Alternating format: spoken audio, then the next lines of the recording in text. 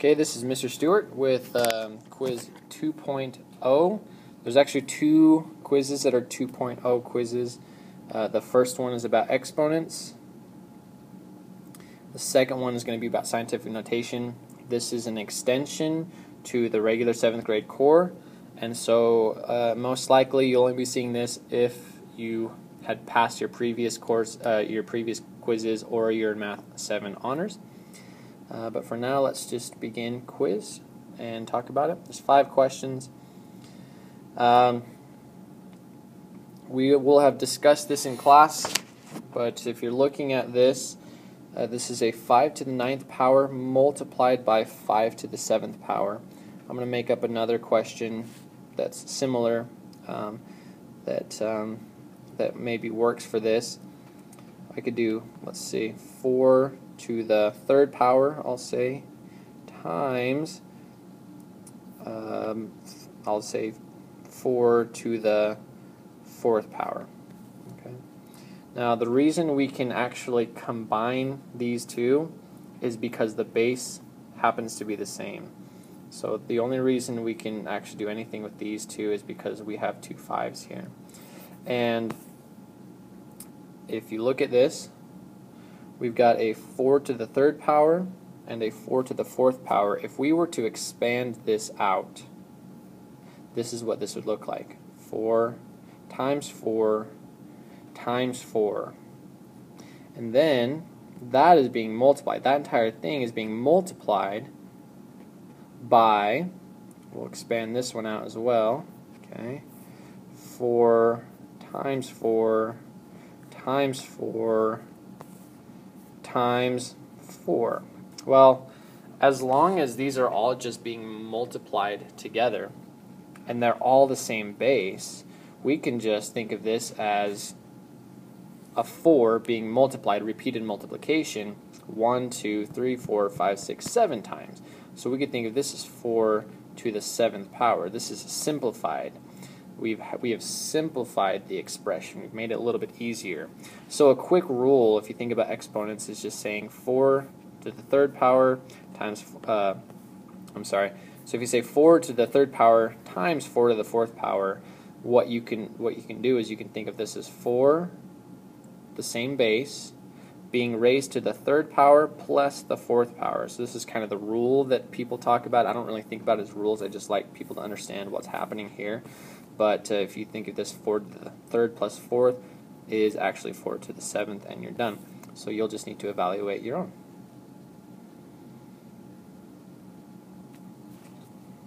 Okay, question number two. Just because they're negatives doesn't change anything about what we just did. I'll make one up. Um, We'll start here. I'll say, okay, I've got a negative. I'll just do something simple. Negative 2 to the second power times times a negative 2 happens to be the same base. So you can actually do this okay to the I don't know 10th power doesn't really matter. Again this is just expanded out. So this is this is saying this is saying a negative 2 times a negative 2.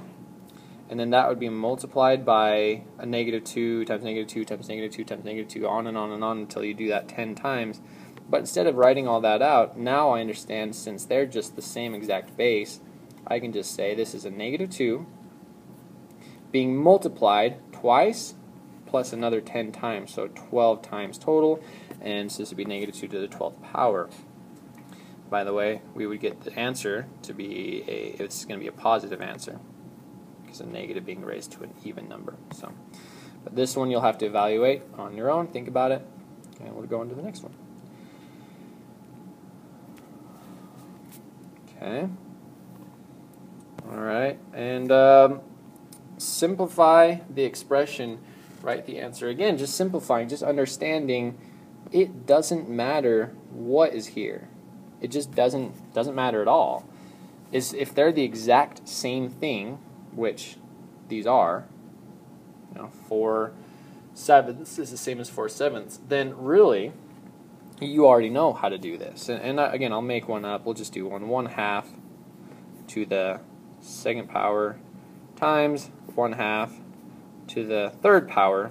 These happen to be the same base, so this is just going to be 1 half times 1 half. That takes care of this one. And then this is going to be 1 half times 1 half times 1 half. So now you're just thinking, okay, I've got five 1 halves being multiplied together, so wouldn't this just be 1 half to the fifth power? So even fractions are rational numbers, decimals, it doesn't matter as long as the bases are the same, the exponents can be added together.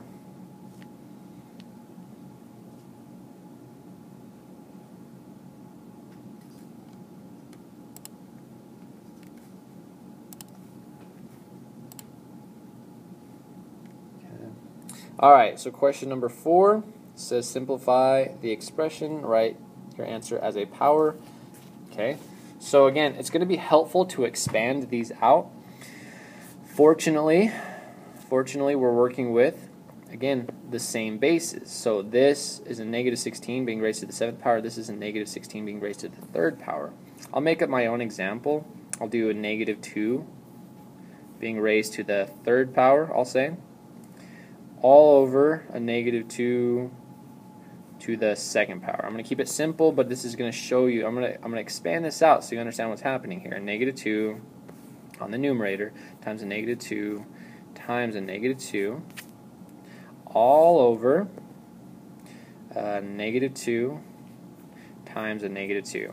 No, it's just to the second power, so in case that looked a little weird there.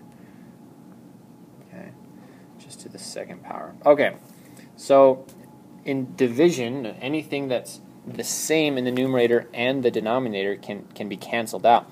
I'm not even gonna I'm not even gonna multiply this out. I mean you can and we can show this to you. I guess I could. A negative two times negative two is a positive four times a negative two is a negative eight. So this is a negative eight all over a negative two times negative two is a is a positive four. Okay, so that would that would leave me with um, uh, 4 goes into negative 8 a negative 2 times. So that, that would give me this answer here. But this is just asking me to write, write, simplify and write it as a power. So we're not needing to find the answer here. What we're actually thinking about is how, how are these canceling out? If you think about uh, 1 negative 2 in the numerator divided by 1 negative 2 in the denominator is going to go to 1. So we can say that there's a one there's a there's a cancellation uh, when you have any number divided by itself, it cancels out to one, and anything multiplied by one is just itself. So those sort of cancel each other out. So this also cancels this out. And what am I left with? I'm just left with a negative 2 in the denominator. So I would write this as negative 2 to the first power if I were writing this as my answer in power form. Um, but that's also the same as just saying a negative 2. That's the same thing. So you'll want to evaluate yours, and you'll need to write yours as as as a power, using using power.